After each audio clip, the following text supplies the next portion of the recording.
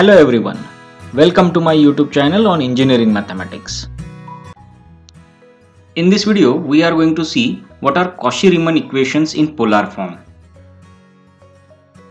Let us first recall Cauchy-Riemann equations in Cartesian form. In my last video, we have seen the Cauchy-Riemann equations are the necessary condition for a function f of z is equal to u plus iv to be analytic in the region R. Following are those CR equations. Dabba u by dabba x is equal to dabba v by dabba y. That is partial derivative of u with respect to x is equal to partial derivative of v with respect to y. Or ux is equal to vy and dabba u by dabba y is equal to minus of dabba v by dabba x. Or simply uy is equal to minus vx where u is real part of the analytic function f and v is imaginary part of the analytic function f. Note that this is the Cartesian form of the Cauchy-Riemann equations. Now we'll talk about how to find polar form of the Cauchy-Riemann equations. Assume f of z is equal to u plus iv is the analytic function. Since z is x plus iy, then its exponential form can be written as r e raised to i theta. So u plus iv can be written as f of r e raised to i theta. This u plus iv can be written as f of r e raised to i theta. Now we differentiate this equation partially with respect to r. So left hand side becomes dabba u by dabba r plus i into dabba v by dabba r like this. Whereas right hand side becomes derivative of f that is f dash of r e raised to i theta into derivative of r e raised to i theta with respect to r. Derivative of r e raised to i theta with respect to r is only e raised to i theta. We label it as equation number 1. Now we differentiate this equation with respect to theta, partially keeping r term constants.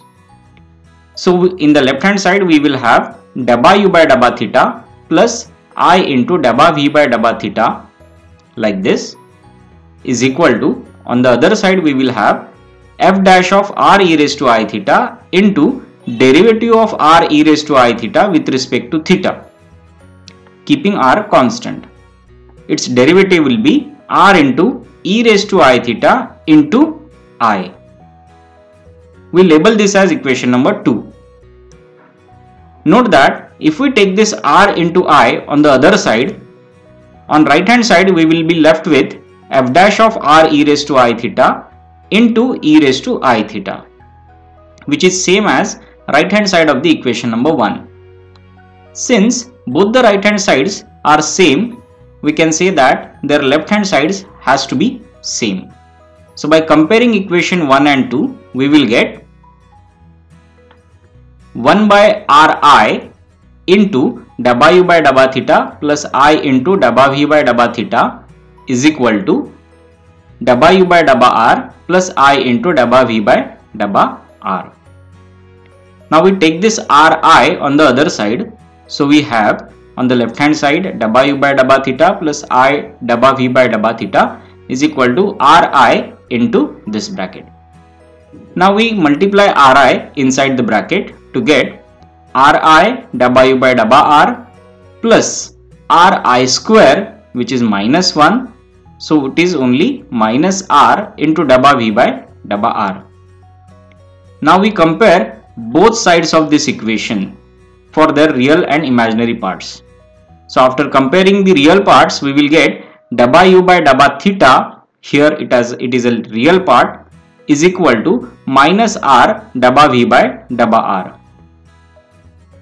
And when we compare for imaginary parts we will get dabba v by dabba theta is equal to r dabba u by dabba r. That is u theta is equal to minus r vr and ur is equal to 1 by r v theta. These equations are called as Cauchy-Riemann equations in polar form. Now we see an example on this. Here the question is to find the unknown variable p if the function of complex variable f is given by r square cos 2 theta plus i r square sin p theta it is analytic. So we begin with this function f of z.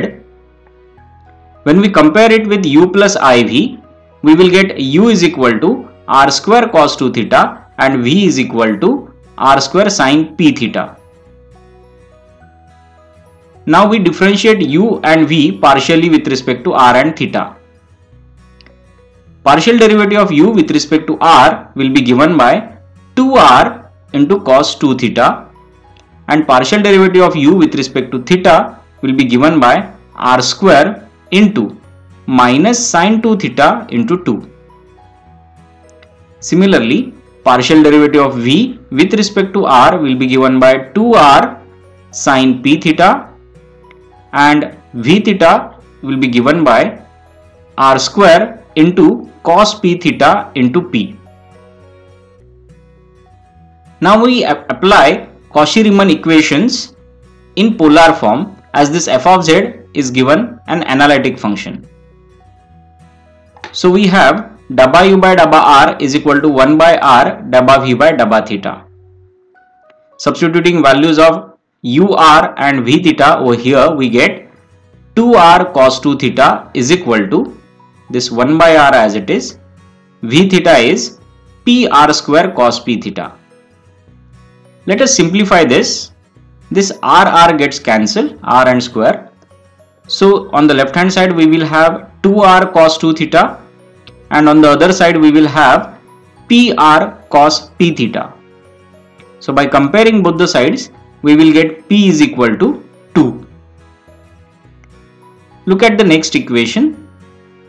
Dabba v by dabba r is equal to minus 1 by r dabba u by dabba theta. Let us substitute for these derivatives. VR's, VR's value is 2r sin p theta and u theta value is minus 2r square sin 2 theta. This minus minus becomes plus. r and square will get, get cancelled. So on the other side we have 2r sin p theta and on right hand side we have 2r sin 2 theta. So when we compare both the sides once again we'll get p is equal to 2. Therefore, we say that here the unknown variable that is occurring in the definition of analytic function f of z p is given by p is equal to 2. I hope you understood what is polar form of the Cauchy-Riemann equations and how it can be used. Thank you guys for watching this video. Please subscribe my YouTube channel for more such engineering mathematics videos. Please press the bell icon to have updated information about my videos.